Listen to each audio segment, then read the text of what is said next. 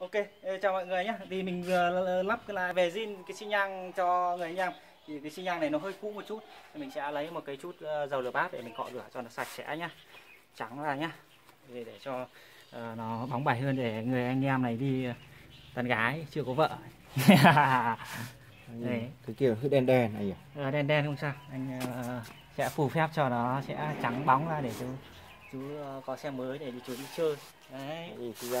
Anh em chơi thân với nhau trong huyện này anh em ạ. Khá là ok rồi. Làm gì đấy?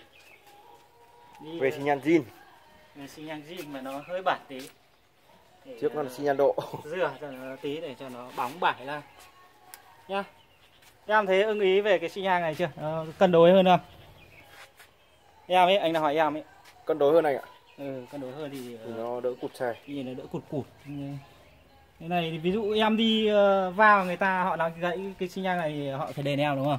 Ừ. đúng rồi hãy phải đền còn bình thường thì chú đi kia nó vào quẹt vào là chú lại phải đền nó ấy. Ừ. đúng đấy. Đấy. Điều này ngay nhìn nó hơi hơi vướng vướng hơi vướng vướng nhưng mà nhìn nó đẹp bắt, xe bắt đền họ được nhé thì ờ, tương đối là chú đợi anh đi lấy can nước anh dội vào nhé Cho sạch. Thế anh có máy rửa xe không anh nhở? Có, nhưng mà đợi anh tí.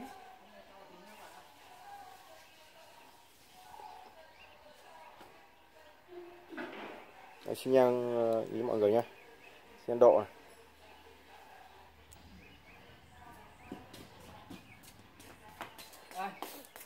Tí can nước vào thôi. Ôi mới rồi. Tương đối rồi.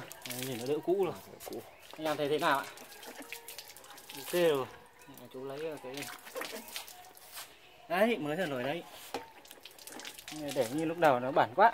Xe mới mà cũ về không ổn ok mọi người ơi. Thế chú có hỏi anh cái gì nhỉ? Ờ, anh có máy rửa xe không nhỉ? Máy rửa xe có thoải mái. Tí anh cho chú ạ. Rồi chú quay đây cho. Đây này. Đấy mình vừa à, lắp về zin cho người anh em. Cái xi nhang và nó hơi bẩn tí. Mình đã về zin và vệ sinh sạch sẽ luôn. Thì à, rất vui được chia sẻ clip với mọi người nhé. Các anh em nào mà cứ cái uh, xi nhang nó bẩn thì các anh em có thể dùng cái chất tẩy lửa tốt hoặc là coca hoặc là gì. Mình tạm thời lửa thế này là cũng tương đối ổn định thôi.